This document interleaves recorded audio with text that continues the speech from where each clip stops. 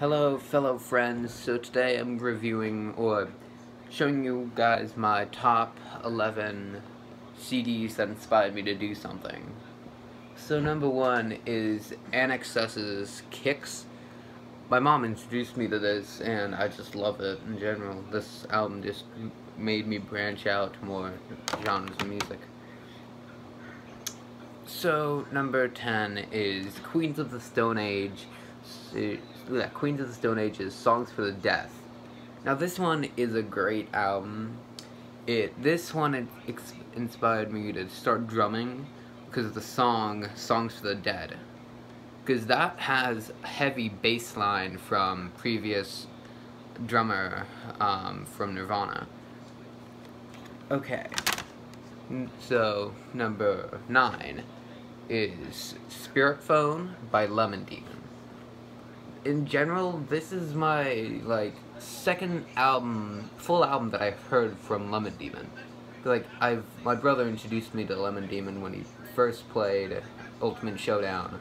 He loved it so much that he bought it. Um, this one I just love because it just made me branch out and make me listen to different types of music. It had lots of synthesizers. And I'm excited for the next album that they're releasing.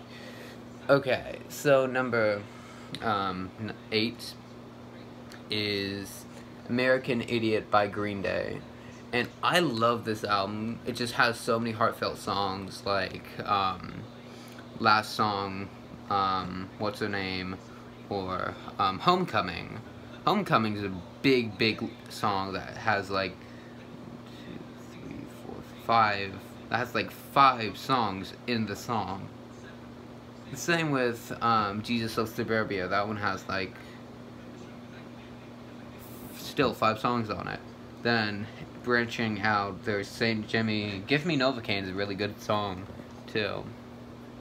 So this just made me like see other genres of music and actually made me branch out to more artists like um, the now defunct band um, Operation Ivy, which I love a lot of those songs. So, coming up in number 8 is Green Day's Dookie. This is the second album that I've ever heard from Green Day. Um, I just love this album. It has such a like pop punk feel to it.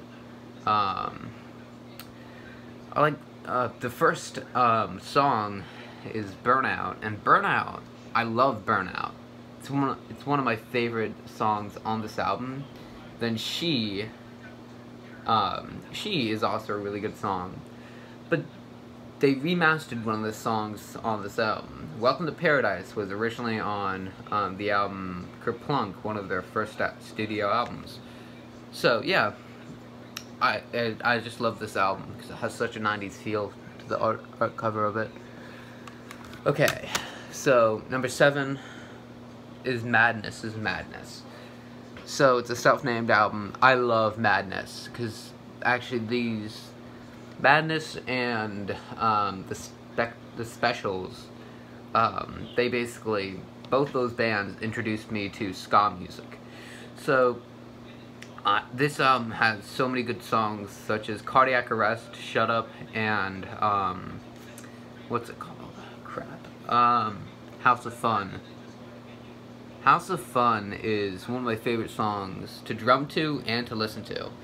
And thanks to Tom Scott for branching me out to different types of music like ska. I, I'm a big ska fan now. Um, so yeah. So that was, so this is number six. Actually, these are in the wrong order, sorry. So, oh no, wait, no, not, sorry. Um, number six is I might get I might be getting these out of order. So number six is the Magical Mystery Tour by the Beatles. Now this has was a was originally a movie soundtrack that got more recognition than the movie that it was actually the soundtrack to. So this album is such a good album that has so many hit singles or hit classics on it, like Hello Goodbye, Strawberry Fields, um, Penny Lane, and all you need, uh, all you need is love, and I'm the Walrus. the this song, this album in general, introduced me to a lot of the um, main keys of the Beatles. Um, it's not the first Beatles album that I listened to. I listened to the number one album that had so many good songs, but left out the Sgt. Pepper's and basically a lot of the old older stuff. It just showed off lots of newer stuff, putting in some older stuff, but not putting in like any any songs from Sgt. Pepper's. At least they would put in A Day in Life, which is the last song on B side. So coming in at number, I think it was, oh no, this is number This is like number four, sorry. So number four is Sgt. Pepper's Lonely Hearts Club Band by the Beatles, released in 1964? 1967, not four, sorry. So this, in general, is one of my favorite Beatles albums, coming in at like number two? Because number one is, um, it's not the Magical Mystery Tour, it's the White Album. The White Album introduced me to Helter Skelter, which got me into gr grunge and punk rock, or is just punk, like Ramones or the Sex Pistols. Um, so I like the start of the album, like Sergeant Pe like number one, Sergeant Pepper's Lonely Hearts Club Band A side. Now, how I'm special specifying Sergeant Pepper's A side is because um, there's actually two Sergeant Peppers. There's the starting Sergeant Pepper's and there's the ending Sergeant Pepper's. The A side of the of this album and the B side of this album. But this is also one of the first CDs I've owned, like I've bought. The second one would be the White Album. And I just love the start of this album. It comes in with Sgt. Pepper's and then with a little help from my friends, then the psychedelic Lucy in the Sky with Diamonds. And it's just such a great album and it couldn't and it couldn't even be helped with um, it couldn't be couldn't even be here without the Beatles going to Maharishi um, and learning a lot about um, peace and stuff. So this was going to be my number one favorite because my childhood. This is Flood by They Might Be Giants, and I was going to see them live in spring, but COVID happened, and China dropped the big COVID bomb on us, and so it's moved to the December. Hopefully, I get footage of that and not copyrighted. So this, I love this album. It's from my childhood. I was thinking of adding Apollo 18 on here, but I do not really want to add that and get demonetized because there's this one song on it that's you know it's good it's the statue got me high. That one's my favorite one. But this has lots of good songs on it like the um, one hit wonder. Well, not even the one hit wonder. They have so many good songs.